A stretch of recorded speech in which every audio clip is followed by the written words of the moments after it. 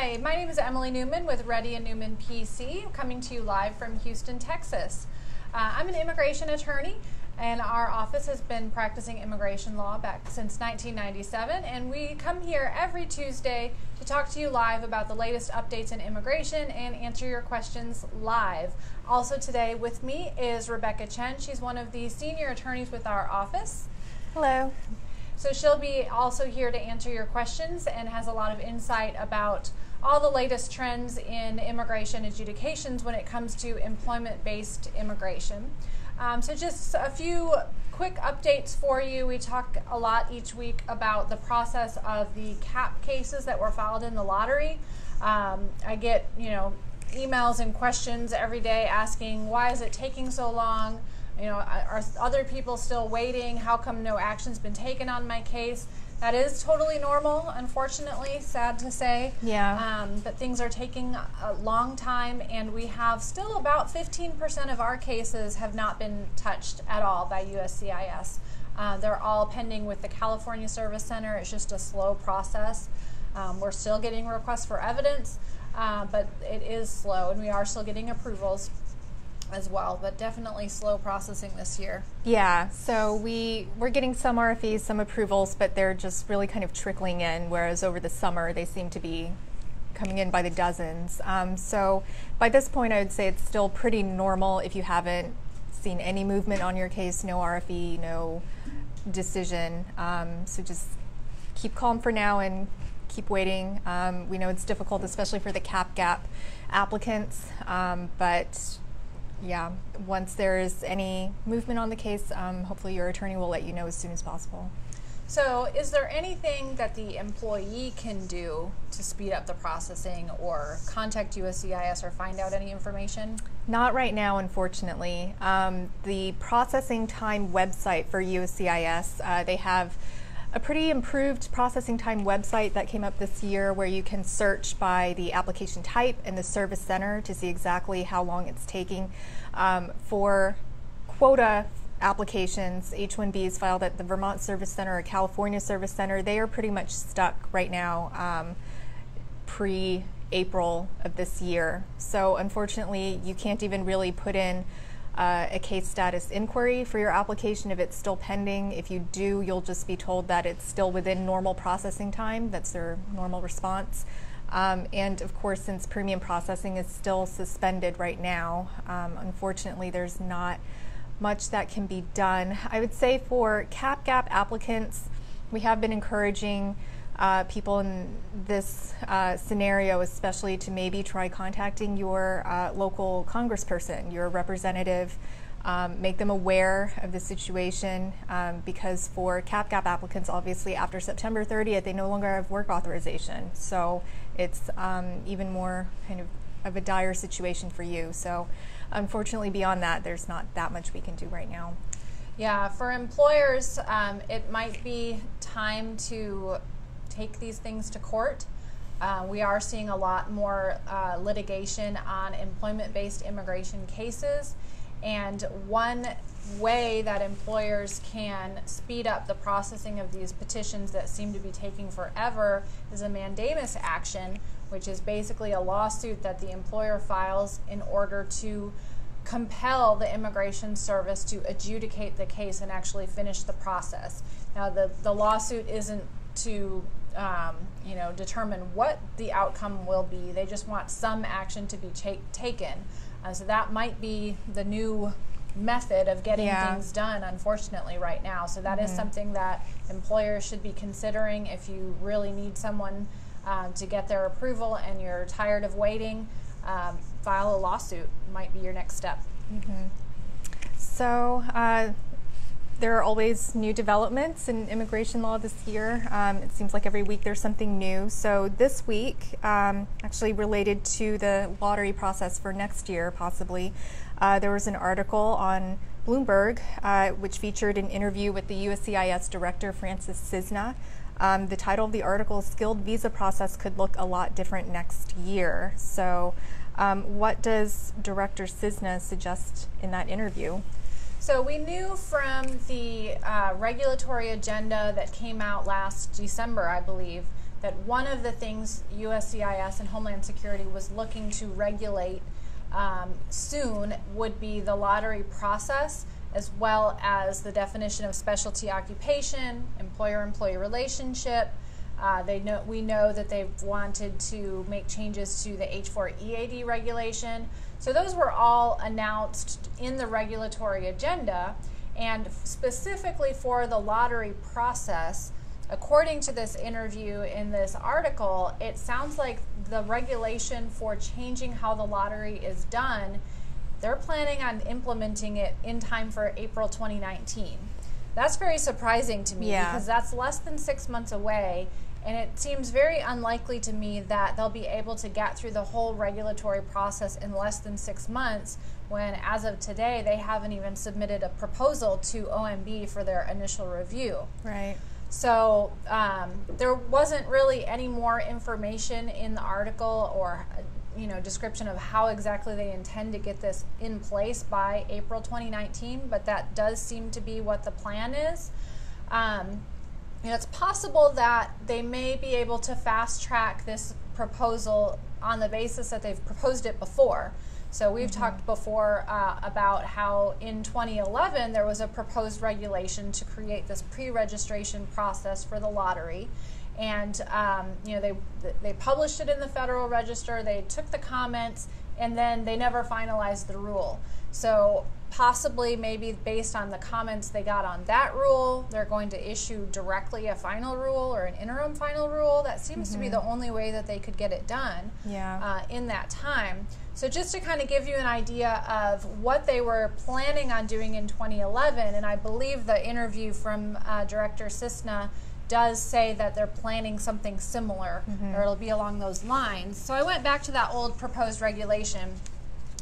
Um, basically, what they're wanting to do, and again, this is not a valid proposal right now, but it's something that we might see uh, in time for the April 2019 lottery. So, what they want to do is open up an online portal or website in the month of March and allow employers a two week window to register their employees that they plan to sponsor in the H 1B lottery. Once they receive all of those registrations, the lottery will be conducted based solely on all of those registrations. Um, so once they do that, they're going to select the certain number of petitions or certain number of registrations and then send out notifications saying you've been selected now file your petition. So they'll give you 60 days to submit your petition um, and then they'll go through the regular adjudico- adjudication process so, what do employers have to submit in order to register? It's very basic. Uh, they uh, this is again based on what they had proposed in 2011. They were just wanting the employer name, the tax ID number, the company address, the uh, contact information of the signatory or a representative of the company. For the employee, they just want their name, date of birth, country of birth, country of citizenship, gender, and passport number. That's it. So they're really just wanting to use that information to figure out, to make sure there's no duplicates filed by the same company. Right. Um, and they said that in the event that someone accidentally submits someone twice, they'll accept the first one and then reject the second one. Mm-hmm. But it doesn't say anything about how they'll determine whether it's master's or bachelor's cap, which I thought was interesting. Maybe that is coming, uh, or maybe they didn't think about that at that time. I, you know, because it's going to be a relatively simple registration process, I'm worried that it's really going to increase the number of people registering um, because you don't have to prove that you have a job.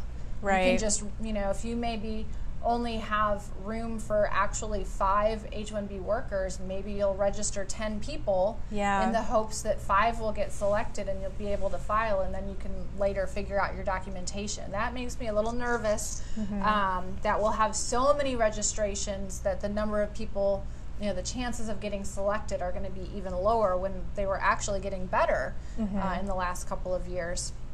So stay tuned for that. Again, there's no proposal right now. Um, there's nothing in the OMB for review on that. This is just based on an interview that was uh, in a Bloomberg article that uh, indicates Director Cissna is planning on implementing this in time for April 2019.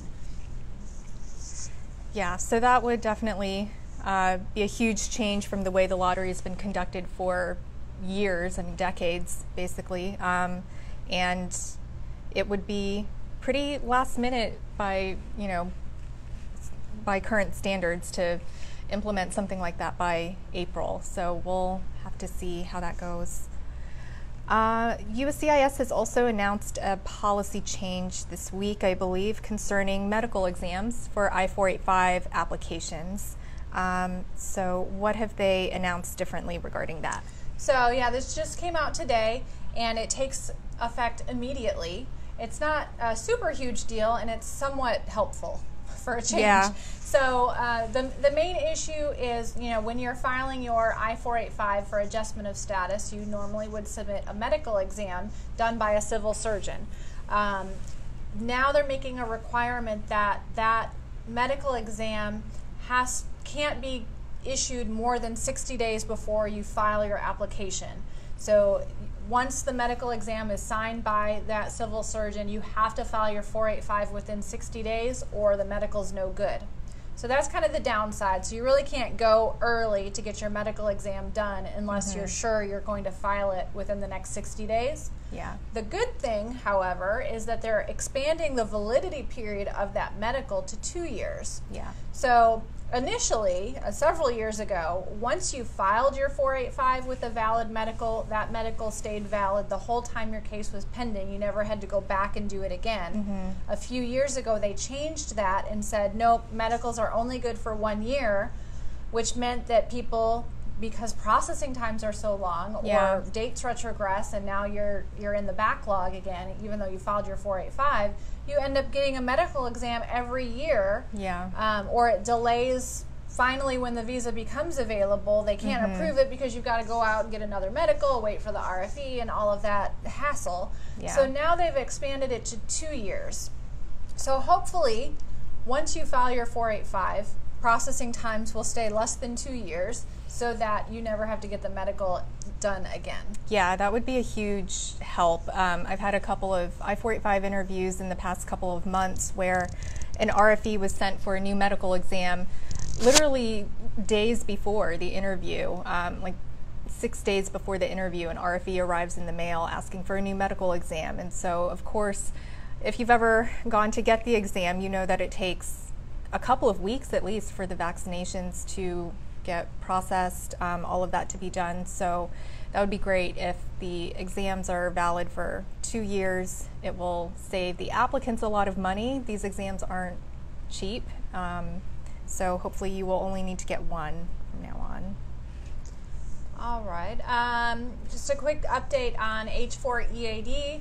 There are no updates, basically. Yeah. Uh, we still expect a proposed regulation by the end of the year.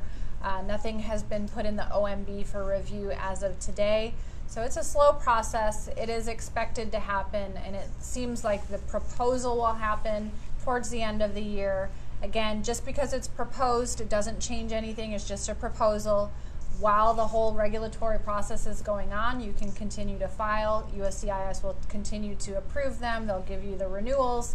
What we don't know is, assuming the plan is to completely rescind the H4 EAD rule, what will happen to those with valid EADs and what will happen to those that are pending at the time of that final rule mm-hmm. taking effect. Um, and there is no way to know that. Um, they will actually normally put a transition period and explain what they plan to do in the proposed rule. So once we have a proposed rule, we'll have a better idea of what their plan is on that. I think it's likely that those that have valid EADs will at least be able to continue until they expire. Mm-hmm. Um, those that are pending probably will be adjudicated um, since they were filed before the rule took effect. Again, this is speculation mainly based on how they uh, handled the DACA right. uh, rescission. So, you know, keep filing. There's no issues right now. Just know that at some point we will see a proposal and then a final rule and then probably a lawsuit at that yeah. point. Uh, we have a couple of questions about premium processing for, I'm assuming, H-1B applications. So the premium processing suspension is still in place uh, right now until February 2019. It does not affect extension applications. Someone asked about filing an extension at Vermont. Actually, uh, extension only applications, if you're requesting a continuation of previously approved employment without change, an extension of status, those are all filed at the Nebraska Service Center, regardless of where your H 1B petitioner's uh, main office is located in the U.S. So, uh, actually, those are the only H 1B applications right now that can still be filed in premium processing, with the exception of some CAP exempt organizations' H 1B processing. So, uh, if your extension is being prepared and it qualifies as a continuation without change, you can file it at Nebraska and you can file it in premium for now.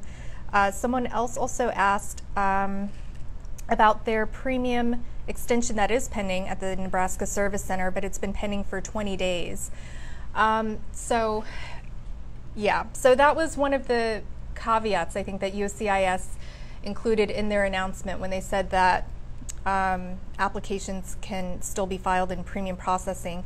They actually made the caveat mostly related to applications filed at Vermont or California prior to September 11th, I believe. Um, but they did mention that they would try to premium process all the applications that they received the timely request for, but that if they could not process them within 15 days, they would refund the $1,225 check.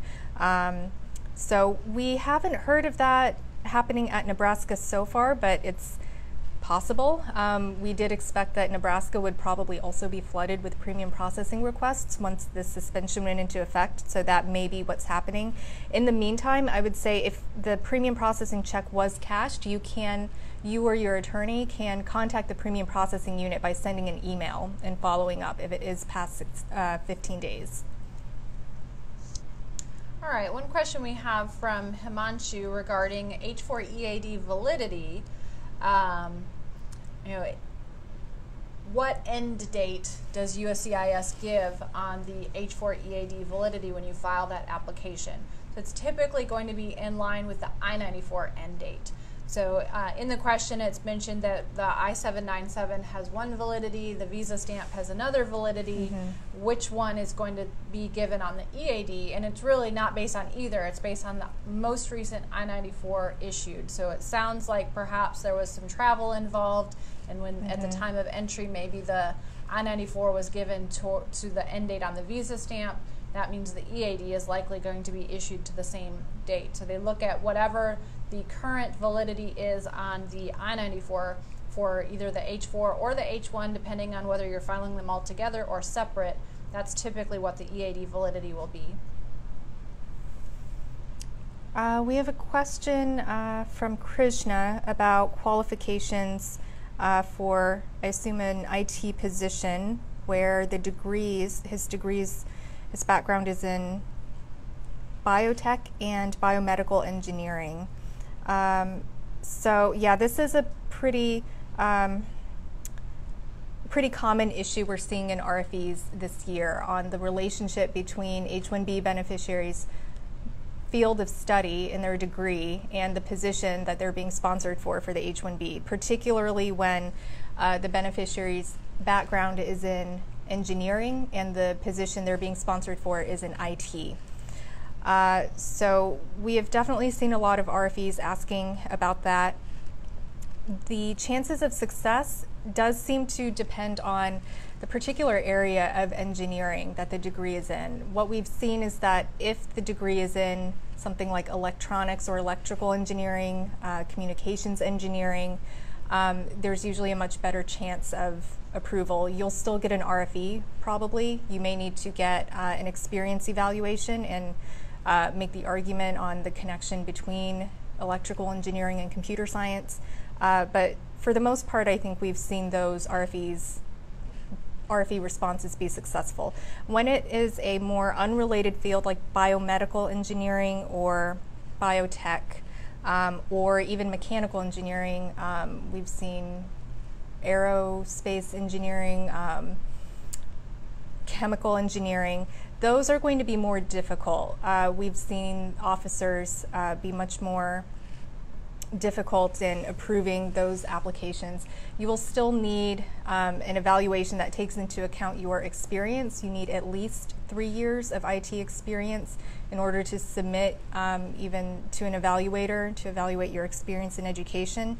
Um, that used to be all you needed, really, in an evaluation from a professor at a university who says that they've evaluated your experience and that um, combined with your education, it is the equivalent of a bachelor's in computer science or a similar field.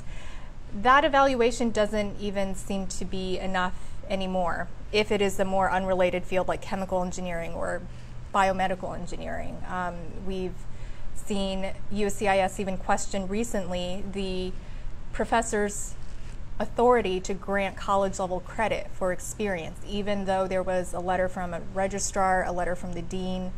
Um, so this is becoming increasingly um, difficult. I would definitely discuss uh, with an attorney and evaluate all your experience and see um, how you can get the strongest evaluation to support your H-1B. You may need to get additional documents from your evaluator um, beyond what they normally provide. Yeah, beneficiary qualifications I think is kind of the, the newest target, I would Yeah. say, for ways USCIS can come up with to deny Mhm. petitions. So definitely, um, you know, there is no prior uh, deference to prior adjudications. So just because you've been approved in the past uh, does not mean this time around you will be. So definitely, if your degree is not super closely related to the position, um, make sure that is thoroughly discussed before filing your next petition. Um, has a question about his wife's H4 EAD. You know, it's expiring in November 2019 with the long processing times for extending the H4 plus EAD. You know, if it's still not approved by November 2019, can she keep working because she filed the extension? And unfortunately, the answer is no. So for H4 EADs specifically, there is no work authorization based on a pending renewal of the EAD. Once the card expires, if the new card is not in your hand, you have to stop working until the new card comes in.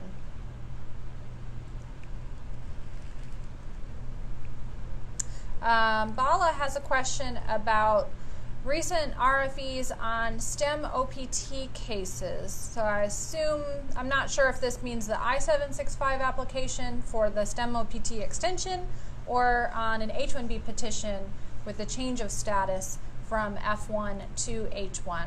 We do see on the H-1B petitions where a change of status has been requested, um, we do see a few RFEs here and there asking about um, was the STEM OPT extension time, did you properly maintain your status during that time? They're specifically asking about unemployment time.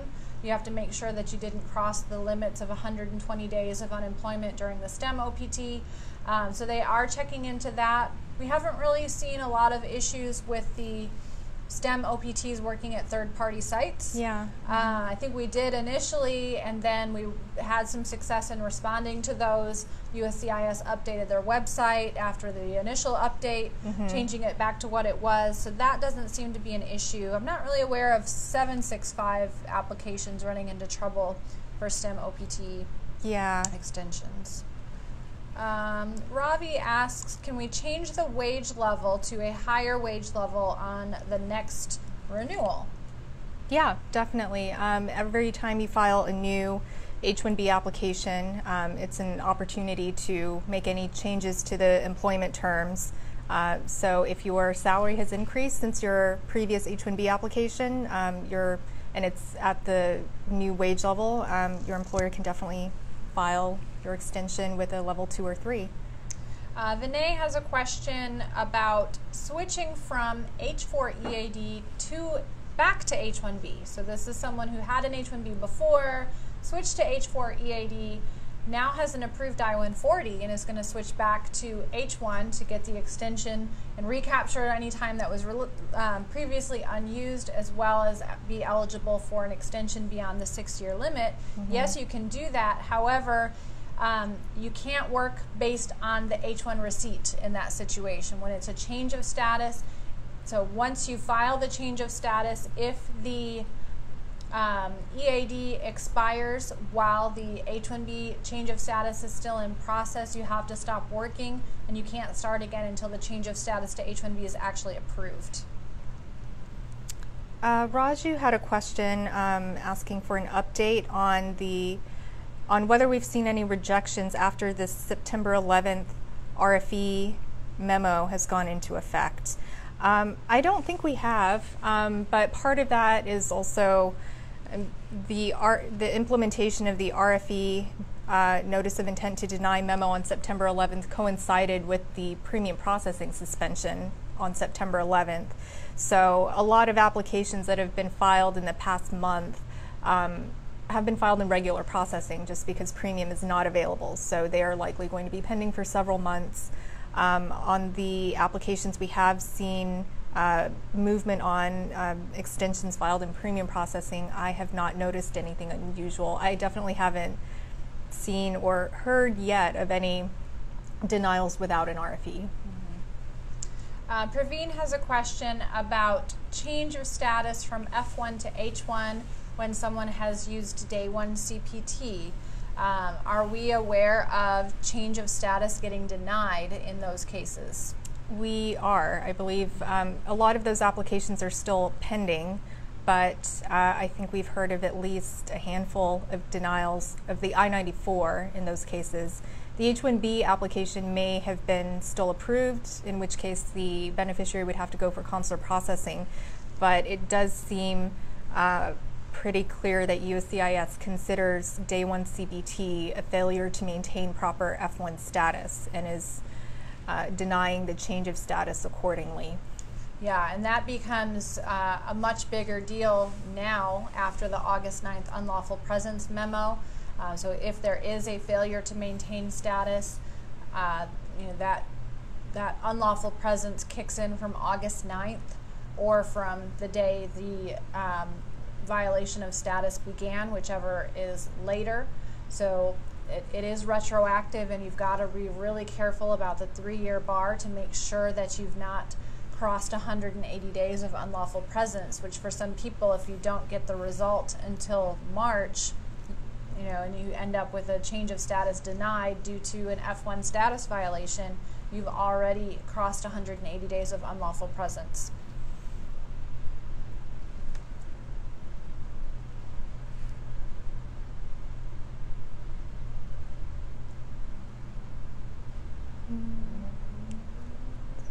All right. Uh, Himanshu has a question about uh, the I-485 application uh, and the ability of a spouse to work. So if you are the main applicant and your spouse is filing along with you as a derivative of your 485, you both file 485 applications and you're both eligible to file I-765 applications for work permits. So yes, once the um, EAD is approved, the spouse can work in that situation. Those are taking about 90 days to be processed for the EAD card. Mm-hmm.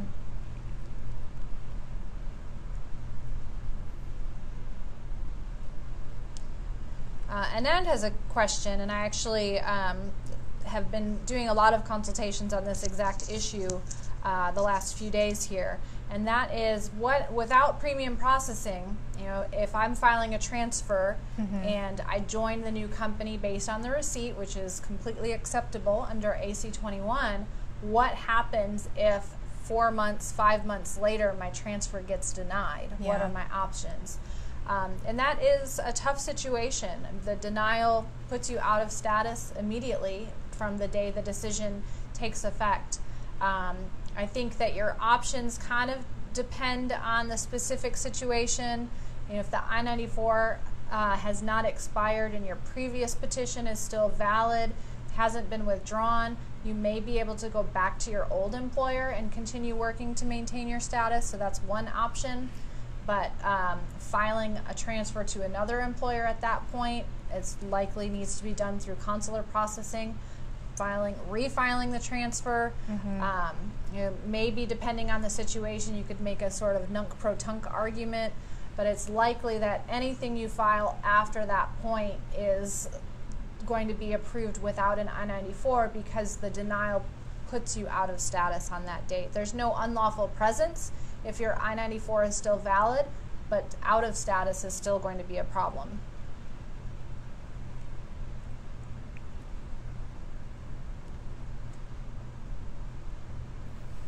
Uh, someone asked a question about filing an extension uh, when there's been a change in their occupation such that their SOC code has changed on their LCA. So, when can something be filed as a continuation of previously approved employment with the Nebraska Service Center, which is eligible for premium processing?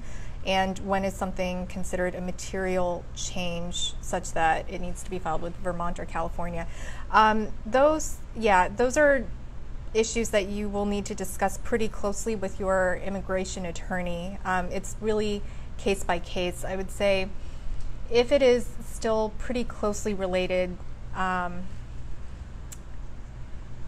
I don't want to give actual SOC codes as examples, but um, it does need to be evaluated case by case, I would say.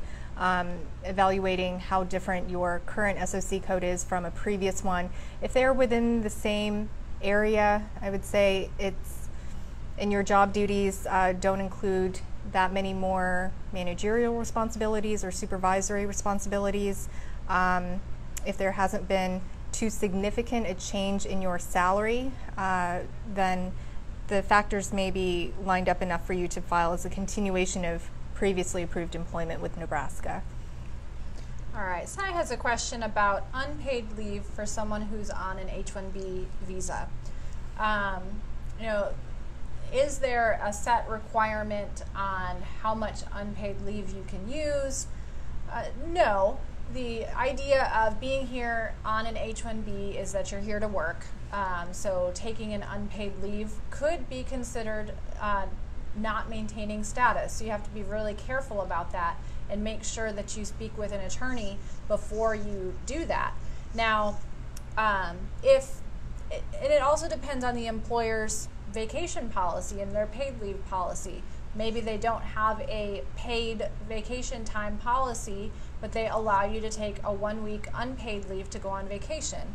That's probably fine. You're allowed to go on vacation. Yeah. Now, are you allowed to take a three month unpaid leave um, maybe not that that might be considered out of status for H1B and I think it really depends on the reason you know if yeah. it's 3 months because of maternity leave right. that's a different story is it 3 months because your employer no longer has a project for you that's yeah. a completely different story and that can be a huge violation for both the employer and the employee so before taking any kind of unpaid leave, uh, definitely discuss that with an attorney regarding the specific situation and be careful with that. Yeah, generally, we would say that if the leave is being in, requested or initiated by the beneficiary um, for a reason like maternity or family leave, um, so far we've seen no problems really with USCIS, considering that it's still maintaining status as long as there's documentation of it. So don't wait until you've been on leave for three months to try to l- produce documentation for it. Make sure everything is there before you go on leave. Um, emails or a leave request form or something that you've submitted to your employer. All right. Aditi has a good question about changing jobs. Uh, when you're on H-1B and you have an approved PERM labor certification and an approved I-140, but you haven't yet filed the 485 because your priority date is not current. Um, are there any restrictions on the new job? Does it have to be 50% the same? Um, you know, there there is a requirement in some situations where the new job has to be same or similar to the old job.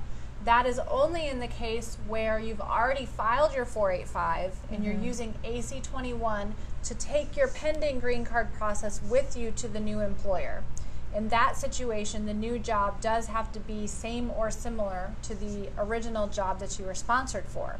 If you have not filed the 485 and you're looking to change jobs, there's no restrictions on that. You can work in any job that you're qualified for and that qualifies for the type of visa that you're applying for. Now, whether a new labor certification and I 140 is needed really depends on the situation.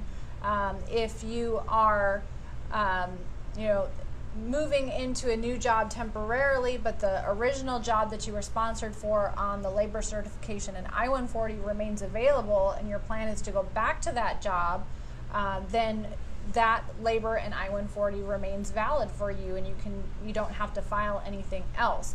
If you're moving to a new job and the that original job that you were sponsored for is no longer there, or it's a completely different job, then that labor certification is no longer valid for the new job, and, you, uh, and a new labor certification would be required. So it really depends on exactly what the situation is. Is it the same employer, new employer? Is it at, before the 485, after the 485?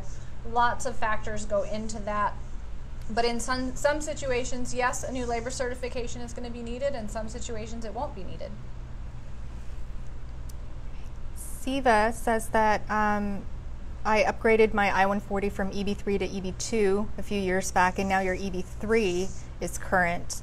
Um, can he use the EB3? So, yeah, so this month um, in October, um, it's a rare occurrence where EB3 for Indian born nationals um, is farther ahead than EB2. So, in some cases, if your um, priority date is current under, under EB3 and you only have an EB2 I-140 approval, uh, you can file an I-140 in EB3, basically a downgrade, whereas usually we are upgrading from EB3 to EB2. In this case, it would be a downgrade from EB2 to EB3. The advantage is that you can use the same PERM labor certification to support this second I-140. So you don't need to go through the whole PERM process again. Uh, you would just prepare the I-140 petition based on the existing labor certification. Um, and if your priority date is current in October, we would recommend filing it concurrently with the I-485 while you still can. Um, but definitely start on that soon since the month is already half over. It needs to be submitted to USCIS by October 31st. All right, Raja has a question about um, you know a transfer denial, and you know can I file another transfer to a different company after I've received a denial of a transfer and I've already joined that company where the, the transfer was denied. So he was working for company A, has a valid I-94, valid I-797 approval notice for a couple of years transfers to company B and starts working for B while it's pending, and now that transfer has been denied, can he now transfer to company C and can he start working for company C as soon as that transfer is filed? Um, so the denial of company B's transfer puts you out of status. So when you file a transfer and you join the new company, you're technically in what's called a period of authorized stay based on the pending transfer. You're technically not in H 1B status, you're not out of status, you're not accruing unlawful presence, but you're in a period of authorized stay, which allows you to work and stay in the country for company B. Once that gets denied, you're out of status. You're not unlawfully present because there's been no I 94 expiration, you didn't overstay an I 94. But once you're out of status, to file anything else, you always have to prove on the date of filing that you're in status and properly maintaining that status. So you won't be able to do that because the bridge that gets you from company A to company C has collapsed because of the denial of company B. So, can you file a transfer to company C? Yes, company C can file a petition for you. Can you join them based on that?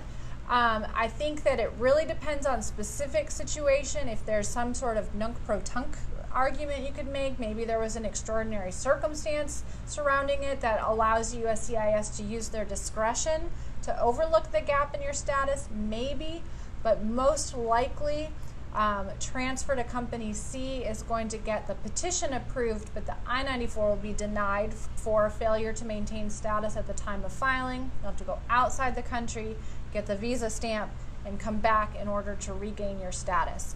Um, so one other way to do that is to have company to leave the country. Com- company leave the country and the company um, at the time of the denial have the new company file a petition requesting consular processing and you wait outside the US for that to be processed get the visa stamp then come back in that way you've not spent any time out of status you've not accrued any unlawful presence That's kind of the cleaner way to do it, but without premium processing, that's really tough right now. It's a long wait to get that approval. Yeah. Uh, Himanshu asks if you get promoted in uh, with your existing employer, do they need to redo the H-1B? So it really, again, depends on the specific circumstances. So the rule is that if there is a material change in the terms of H-1B employment, uh, an amendment application needs to be filed with USCIS. There isn't any clear rules necessarily on what constitutes a material change. Um, so it is sort of a, um, a field test, but I would definitely discuss it with your immigration attorney. They would look at your existing H 1B application, uh, find out how different your new job duties are, uh, whether it comes with an increase in salary. Um, a general rule I sometimes use is that if your salary is increasing to the point that it would go up a wage level on the LCA, that is probably an indication that you may need to amend the H 1B application.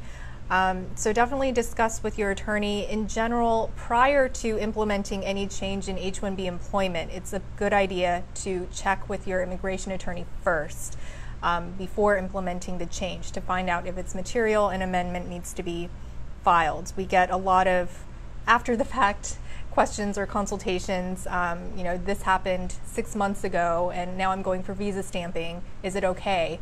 Well, at that point, if an amendment is needed, not really, because an, an, amendment is needed, and you may need to delay your trip until the amendment is approved before you can go for visa stamping.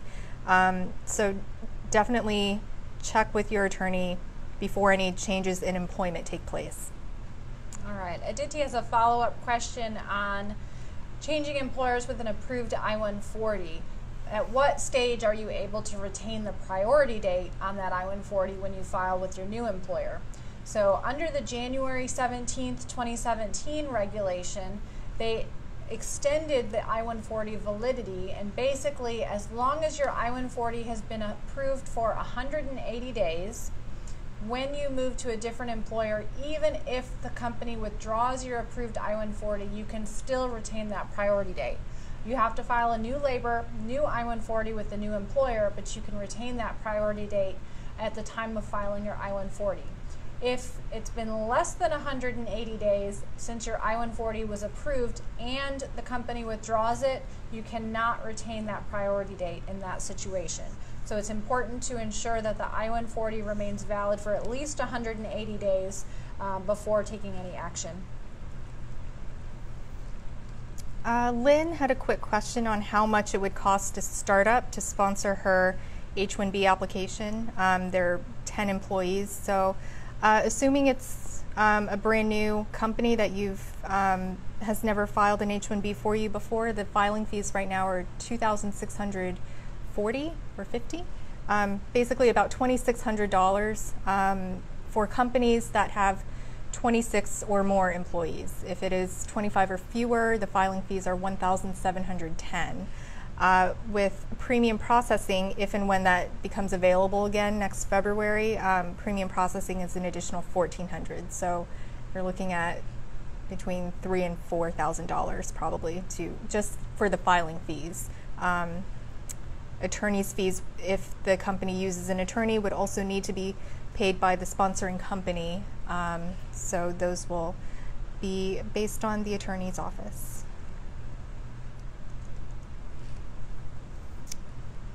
All right, let's see. Um,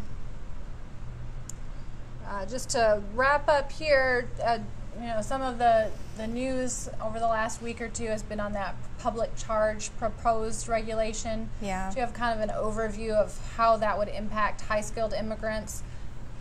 Yeah, so um, the news of a proposed rule has been out for a few weeks, but I think DHS actually published it last Wednesday, October 10th, they published um, their proposed rule on the public charge issue. It will affect uh, almost all immigration applications, I feel like. Um, even uh, non immigrant applications for changes or extensions of status that are filed with USCIS right now. Um, the main crux of this public charge rule is um, the rule that aliens are not admissible to the U.S. if there is a possibility that they will become a public charge um, in the U.S., basically using um, government benefits. Uh, this is mostly uh, applied at the time that you're applying for adjustment of status or applying for admission into the U.S. It used to not really affect at all uh, changes, uh, change of status or extension of status applications, I-129 and I-539 forms, but uh, the public charge rule seems like it will um, affect those applications as well.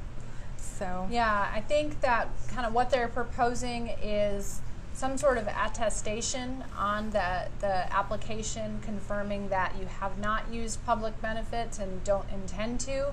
And then depending on you know what information USCIS has, they can always come back and send a request for evidence for this new form that asks for a lot more financial information from the employee.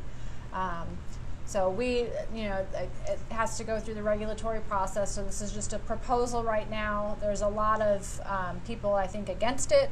So probably going to end up in lawsuits yet again. Um, but just stay tuned for that. Um, other than that, I think that is it for today.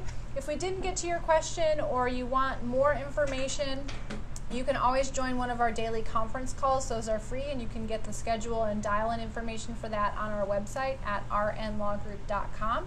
Or if you want to set up a consultation with Rebecca or myself or any of our attorneys to discuss your specific situation, you can go to rnlawgroup.com and make an appointment there as well. You can always uh, get the latest updates by going to immigrationgirl.com, following us on Twitter at rnlawgroup or at immigrationgirl. And thank you for joining us today, and we will be back on Tuesday with more updates.